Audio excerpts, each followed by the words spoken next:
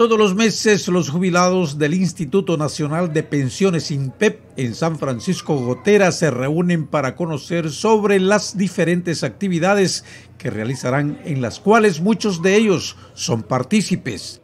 El objetivo de esta reunión es que ellos mes con mes se reúnen y nos reunimos el último jueves de mes para darles algunas informaciones. En el caso de hoy les hemos informado de todo el calendario de actividades que va a haber en todo el año.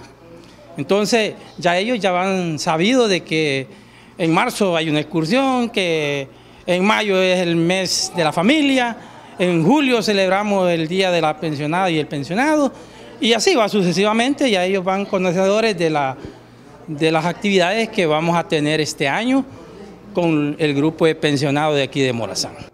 Son más de mil pensionados en Morazán quienes dentro de ese universo han conformado un grupo musical que participa en actividades festivas según lo solicitan.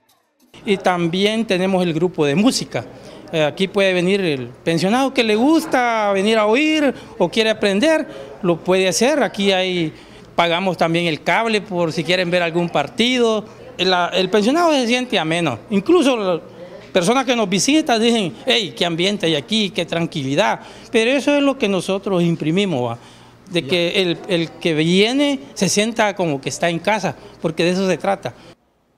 En el local de las oficinas, los jubilados llegan a pasar momentos de esparcimiento mientras otros aprenden manualidades que comercializan. Tenemos taller de manualidades, hay un curso de, para hacer ejercicio que lo imparte el profesor Orlando Rafael Blanco. Aquí ya los pensionamos y venimos aquí a, este local y dijo el jefe que quienes se hacían cargo, porque en todos los departamentos habían grupos de música, que quienes nos hacíamos cargo de tal instrumento, vaya de violín solo salimos dos, levantamos la mano, de guitarra hubieron varios que, que, levantaron la mano.